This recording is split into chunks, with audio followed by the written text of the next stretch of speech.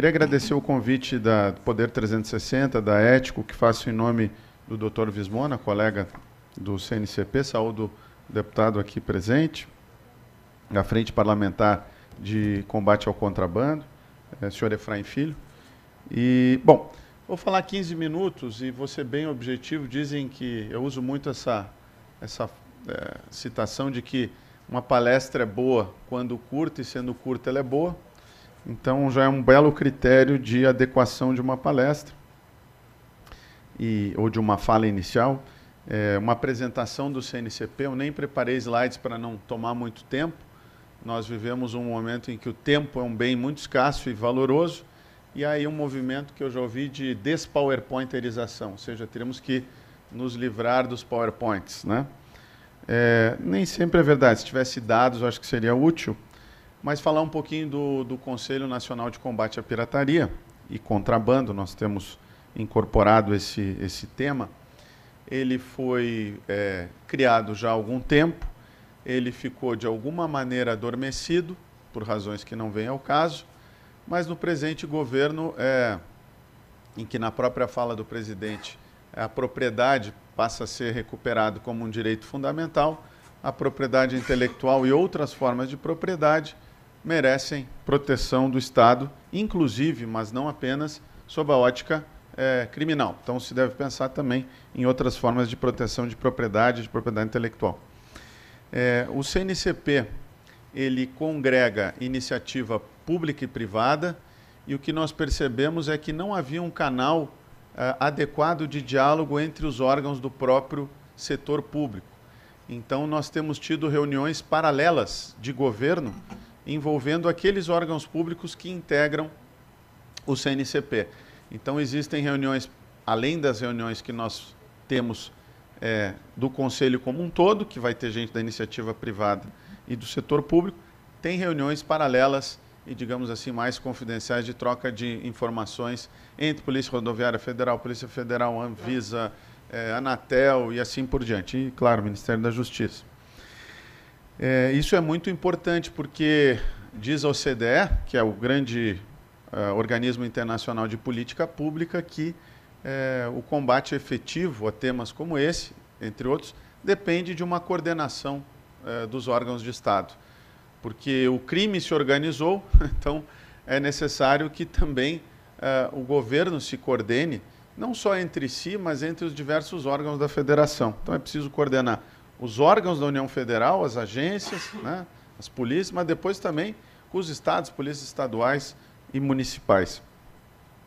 A gente também tem tido o apoio do Itamaraty, porque é preciso a leitura é, do que acontece nos outros países de nossas fronteiras, então algumas coisas que é, escutamos ou acompanhamos na mídia não necessariamente é o que o Itamaraty nos passa como leitura de cenários políticos. E isso tem sido bastante profícuo essa troca de eh, ideias e experiências. Creio que o meu colega Furtado vai poder explicitar mais adiante. Bom, outra coisa importante, a Senacom passou a ser responsável por eh, administrar e gerir o CNCP.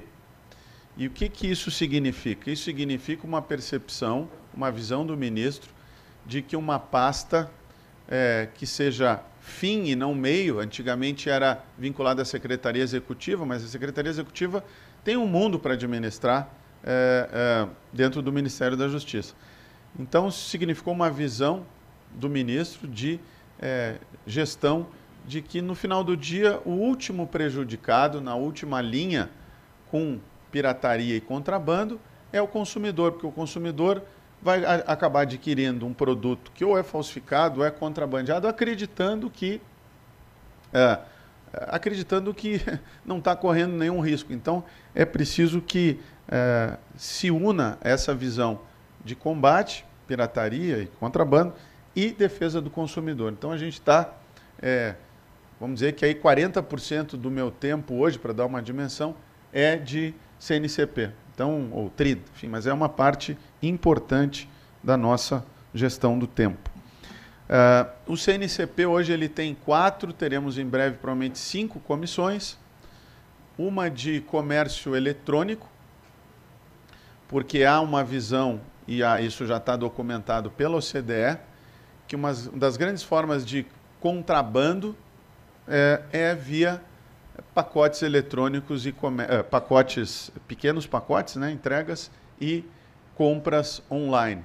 Então é preciso resolver isso é, é, de alguma maneira. E a gente vem enfrentando isso dentro do CNCP como o OCDE recomenda, que é com autorregulação regulada. O que é autorregulação regulada? Não é simplesmente eu fecho os olhos e deixo que as coisas aconteçam de qualquer maneira.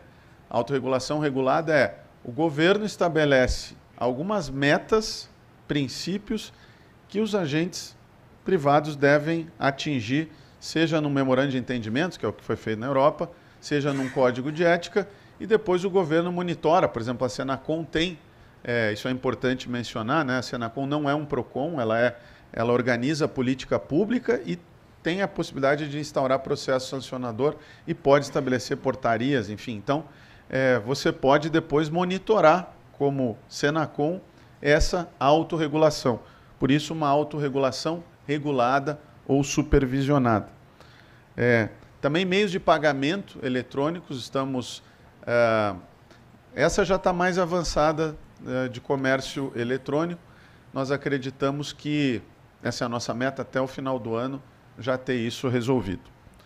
Sou pena de é aquela coisa, né? Quando a autorregulação não funciona, tem que entrar a regulação, que por vezes é pior para os próprios agentes econômicos.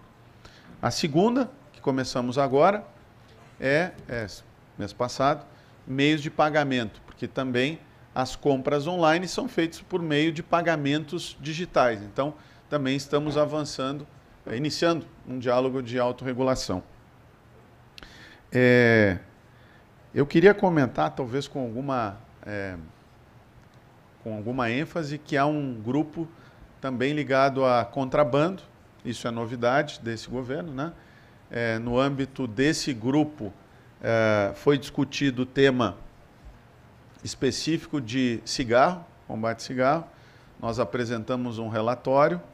É, no âmbito desse grupo, o Ministério da Justiça é, se abriu para ouvir outros órgãos de governo, como o Ministério da Saúde, o Ministério da Economia por meio da Receita Federal, e é, consolidamos essas opiniões é, de forma a subsidiar é, a nossa visão sobre o tema e entendemos que a, a, a necessidade de ainda colher um pouquinho mais de estudos empíricos na área de economia para saber como que a tributação pode ou não criar incentivos perversos, por assim dizer, ao contrabando de cigarro, criando um mercado ilegal aí de cigarro.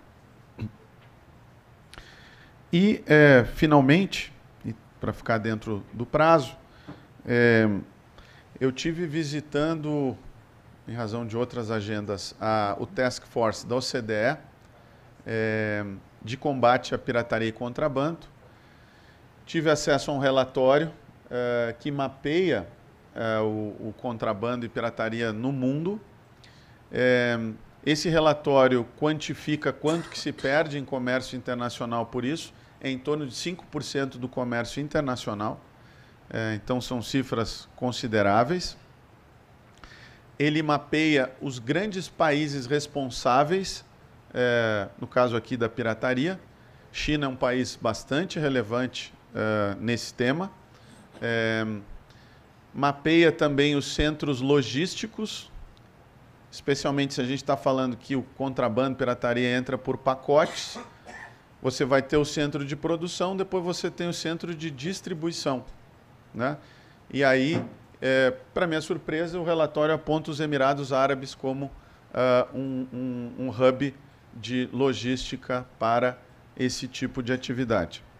Uh, de modo que é curioso que os estados se organizaram para combater contrabando é, nos portos e fronteiras e estradas, só que é nos correios que acaba entrando alguma parcela, é o que o estudo sugere, por isso que os americanos já colocam uh, junto dos Correios, é, Receita Federal, Polícia, etc. O Brasil começa a fazer isso, mas acho que tem um trabalho importante. A gente até pretende que os Correios integrem o CNCP. É, e, para minha surpresa também, ali é mapeado uh, os principais países vítimas de pirataria. é, nós brasileiros uh, temos a ideia de que o Brasil é um país que viola a propriedade intelectual alheia, quando na verdade, do ponto de vista desse relatório, o Brasil é vítima. O Brasil é mais vítima que, por exemplo, a Holanda em pirataria, das suas próprias marcas. Então, é, a gente precisa criar essa consciência e investir. É, eles me mostraram um relatório da Itália. A Itália é um país que não tinha essa percepção de quanto ela perdia é, com pirataria. Então, por vezes, não é custo você combater, pode ser investimento. Né? Quando você está protegendo a indústria nacional, é, não de maneira né, com não seria desejada, mas da maneira correta, acho que o país como um todo sai ganhando. Então essa é a fala aqui é, de boas-vindas e dizer que nós no CNCP estamos aí aberto a todas as pessoas que têm interesse em contribuir, trazer dados. Estou verificando a possibilidade de é, já tenho até uma proposta da OCDE de um peer review para uma task force de uh, levantamento de combate à pirataria e contrabando aqui no Brasil para orientar a política pública baseada em evidências. Né? A política pública deve ter baseada em evidências. Então, com isso, agradeço aqui e uh, fico à disposição se tiver alguma questão. Obrigado.